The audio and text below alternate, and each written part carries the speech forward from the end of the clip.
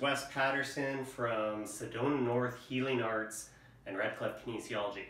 I'm going to give you all a really quick um, health tip that you can do to help heighten and bring up your immune system.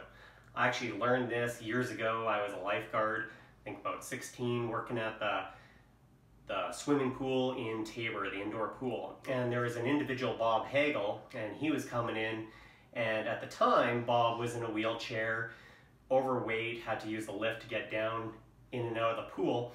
And then he'd start slowly doing some exercises in the water. And so what I would often see Bob doing is I'd see him just, you know, tapping here on the center of his chest. And so the one day I asked, what are you doing? He said, I'm stimulating my thymus. And I was like, oh, okay. He's like, yeah, anytime I feel I have a cough, a cold, anything like that, I just tap here and I should just start doing that tap. So um, Bob would continue coming for the next two, three years. He got to the point where soon he'd be able to get in, wheelchair down, and then climb down the ladder. Pretty soon he began able to walk in and out um, with some assists until finally he lost enough weight that he could just walk in and out. So um, his health was always improving. And so I, I took that on just anytime I would get a cold, I'd start doing that tap there to stimulate my thymus.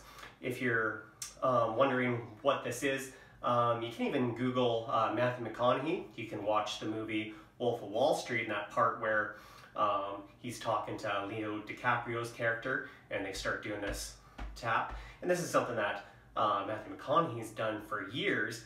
Leonardo DiCaprio just saw him do it on set. They threw it into the movie and um, he does that just to get himself energized. Again, you can add an audible, uh, uh, you know, be goofy as, as much as you want. You might think, well, what's the point in that? Well, you know, you start getting cold, cough these times, do it in the shower, you know, maybe do the Tarzan, get both hands going.